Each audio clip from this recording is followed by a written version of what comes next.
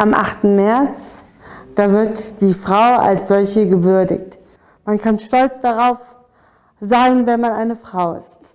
Ja, ein, ein Tag, an dem die Frauen geehrt werden und Frauen in jeglicher Form. Ähm, aber ich glaube, dass es einfach um äh, viel Gleichberechtigung für Frauen geht, die noch nicht an, an allen Stellen ähm, vorhanden ist. Ja, der ist äh, eingeführt worden, ähm, damit die Frauen zu ihrem Recht kommen halt. Ne? Früher war es ja wirklich so, dass es äh, nur über äh, äh, die Herren ging und da hatten wir Frauen ja überhaupt nichts zu sagen. Und ähm, da, das finde ich halt gut, dass das jetzt äh, sich so ein Stück weit gewandelt hat dass wir Frauen doch eigentlich ähm, auch ganz, ganz stark sein können. Ja, ich finde es besser, wenn die Frauen auch im beruflichen Leben teilnehmen können. Nicht nur als Putzfrau. Bei uns in Deutschland befinden wir uns ja im Wandel, wo die Frau immer mehr Mitspracherecht bekommt und wo die Frau auch ähm, gleichwertig gesehen wird.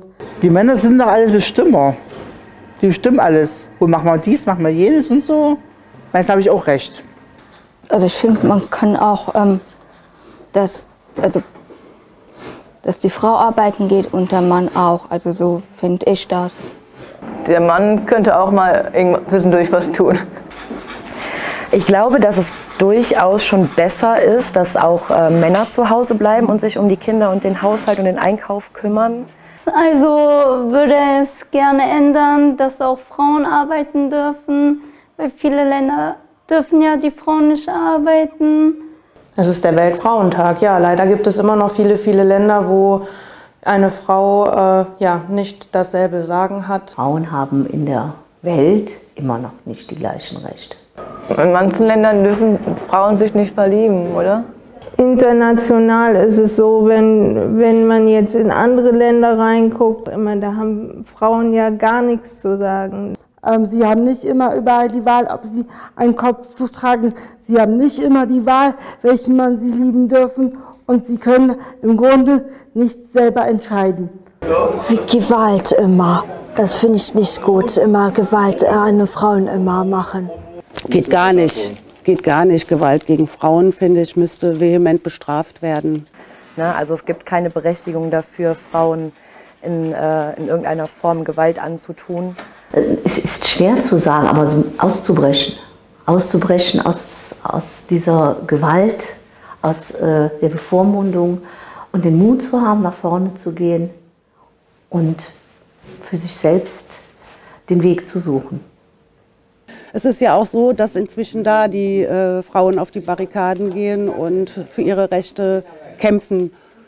Werden zwar teilweise böse bestraft dafür, dass sie für ihre Rechte kämpfen, aber ähm, ich finde ich es gut und es muss was passieren, auch in anderen Ländern. Ich meine, ich glaube nicht, dass, dass es so wird, dass wir äh, alles gleich kriegen wie, wie jetzt äh, die männliche Generation, aber man sollte schon gucken, dass es die Waage hält. Es müsste einfach ein Umdenken in den Köpfen stattfinden, weil es gibt zu viele Barrieren. Ja, ich äh, denke schon, äh, wenn man sieht, wie Frauen um ihre Rechte kämpfen, dazu gehört schon sehr viel Mut.